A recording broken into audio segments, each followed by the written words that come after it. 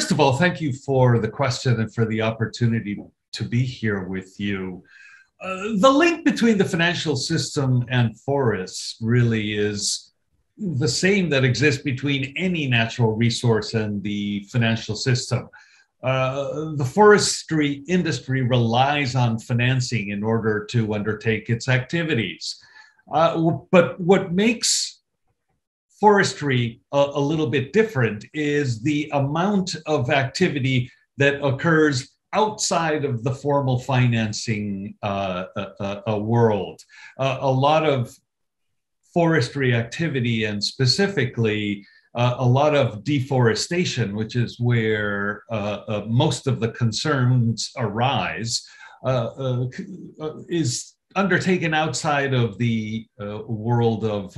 formal bank uh, or other forms of financing, and therefore is more difficult to follow, to study, to manage, and to understand.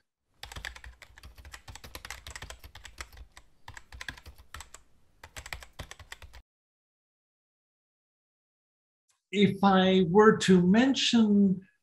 the main challenges in the area of forestry, uh, it, it's hard not to start with the issue of deforestation.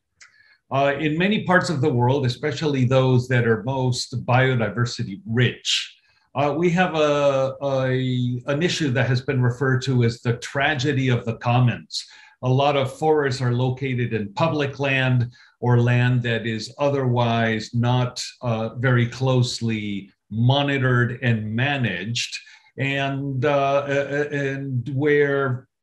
few have uh, few individuals or organizations have a clear economic interest in managing for the long term. So a lot of that deforestation activity uh, occurs uh, uh, in a manner that uh, that really uh, is very difficult to control.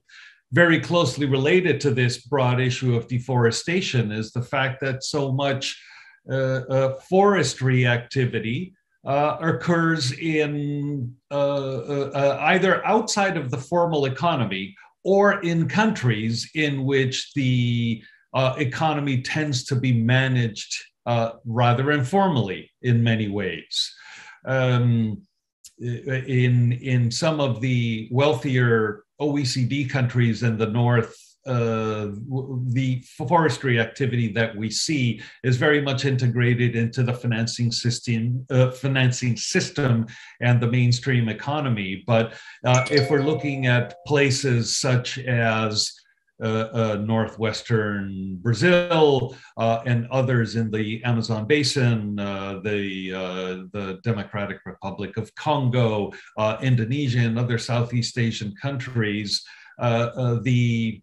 regulatory system is often not as uh, independent of uh, economic groups uh, or simply doesn't have uh, uh, uh, the kind of supervisory capabilities that are required in order to ensure that biodiversity and forests are managed most appropriately.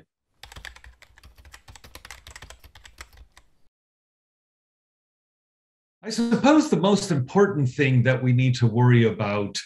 uh, when thinking about sustainable finance and forests is to ensure that more of the economic activity uh, that relates to forests, particularly in highly biodiverse countries in the global south, occurs within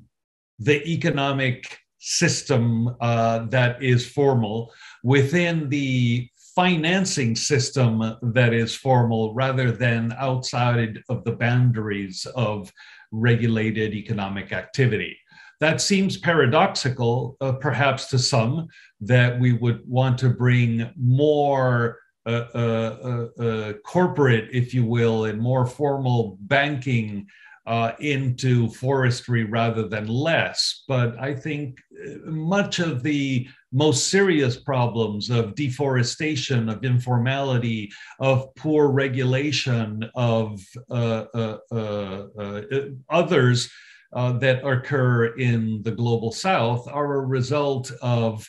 uh, not too much governmental intervention or corporate activity, but perhaps uh, uh, too little. And the corporate activity that does occur, and I'm thinking in particular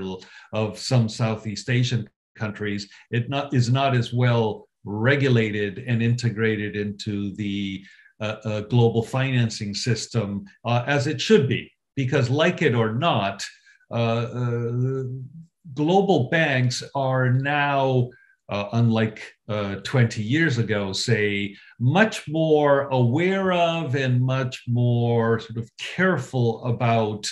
uh, financing activities in the forestry sector, particularly in tropical countries, because they have started to recognize not only the environmental risks that are involved, but also the reputational risks for their institutions.